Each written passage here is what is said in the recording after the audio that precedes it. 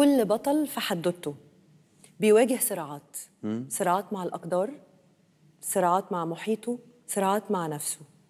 أكبر صراعات واجهها عسيلي في حدوته. كانت مع مين من دول؟ أكبر صراعات على المستوى الشخصي إن أنت تلاقي السعادة الحقيقية. وده كان صراع وما زال الصراع ده مستمر.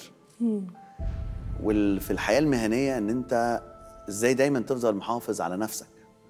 وإن أنت ما تخسرش السبب اللي دخلك أصلا المجال ده إن أنت تعمل حاجة فعلا أنت بتحبها وتبقى راضي تماما عن كل حاجة أنت بتقدمها.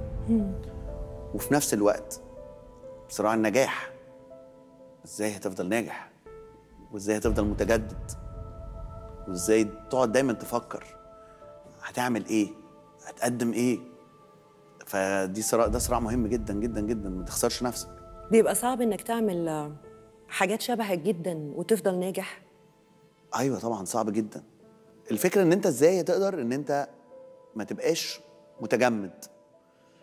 لازم تفضل متجدد و... وتتعلم من أخطائك. ولازم تبقى عارف الحاجة اللي أنت بتعملها ما بتنجحش ليه؟ عشان تعرف إن أنت تكمل. ما ينفعش يبقى حواليك مطبلاتيه الله يا نجم الله يا فنان أنت جامد قوي كسرت الدنيا. لا لازم تبقى انت عارف انت بتعمل إيه ولازم تبقى متصالح مع نفسك 100% فأنت من الحاجات اللي بتعملها بتختار الناس اللي حواليك كويس قوي. والله هم يعني آه يعني هم الناس حواليا ما بيتغيروش. بتختار تسمع لمين كويس قوي. طبعا وبسمع بسمع على طول وببقى ودايما ودني مفتوحة و- و- وعينيا وعينيا ودني مفتوحين على الآخر. مم. عندك صراع مع العصبية مع الاندفاع؟ آه لا. مش جزء من شخصيتك بتحاول لا لا لا خالص. لا أنا مش من النوع المندفع لا بالعكس خالص.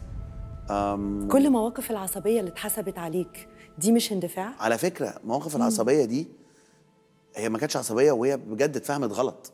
خلي بالك ال- ال- الحاجات كانت اتاخدت مش في مكانها الحقيقي. آه بالعكس هو الموضوع كان كله بيست من اللي أنا اتعلمته إن الأقوال مش بالنيات ما حدش عارف نيتك الناس بتشوف زي ما بيقولوا على المسرح. عسيلي انت عملت حاجات ما بشوفش برضو. الكواليس. عملت إيه؟ طب ما تحكي لي عملت إيه؟ لا يعني مثلا يعني مثلا في العصبية مثلا الموقفين بتوع حفلتك معروفين والناس كلها اتكلمت عنهم.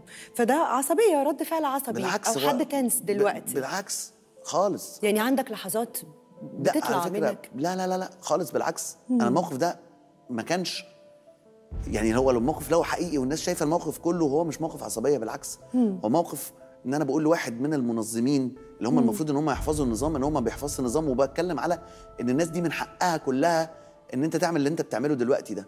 فراحت واخدة اتاخدت في حتة مغرضة واتاخدت واتكبرت جدا جدا جدا واتاخدت out of context اتعملت مغرضة؟ آه 100% 100% مم. طب والإندفاع؟ أنت مرة غيرت على مصر؟ فرديت على فنانه رد متنمر تنمري على فكرة ساعات ما كان ساعتها ما كانش فيه التنمر والحاجات دي يعني وبعدين غير على مصر غير على لو مش غير على مصر غير على مين؟ وبالعكس أنا رديت رد إن هو أنا بالنسبة لي واعتذرت بس أنا بتكلم عن تركيبة شخصية عسيلي أنا متهيألي إن أنا ما اعتذرتش كمان بجد آه. اعتذرت قلت. إنه يعني صلحتها بطريقة ما قلت إنه أنت قبل ما أنا شخصيا كده قبل ما تبقى ووالدتي كده يعني. أنا مش بتكلم على. فكرة أنا بتكلم إن أنت حد بيهين البلد يعني فأنا بالنسبة لي ده مش اندفاع بالعكس دي حاجة أنا بفكر عارف أنا قلتها كويس قوي ليه وعارف أنا قلتها ليه وما عنديش أي ندم عليها خالص بالعكس. وأنا أقرع وقصير يعني فاهم مشكله انت ساعتها برضو. ساعتها قلت كده برضو قلت حاجة كده. أيوه يعني قلت حاجة شبه دي. خالص لا بالعكس أنا مش من النوع اللي هو مندفع مش عارف أنا بقول عمري ما ببقى مش عارف أنا بقول إيه. أنا مش بني آدم غلط. مش شخصيتي.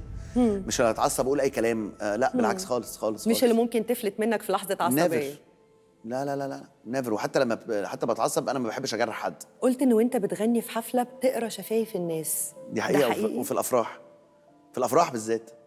لأن الأفراح بيبقى الناس قريبين مني. بيبقوا آه وبيبقوا أقل من اللي في الحفلة. أيوه فبقرأ الشفايف. إزاي بتعمل كده وازاي بتركز في الغنى وانت بتقرا شفايف الناس؟ عادي لا بس ما أكيد مش هقرا الشفايف في كل الناس بس آه. يعني بيبقى في, في وسط ال في وسط ال performance ممكن أقرا الشفايف okay. وبعرف وبفهم شوية في ال في ال في, ال في ال body language فببقى بتبقى لذيذة يعني بتبقى فن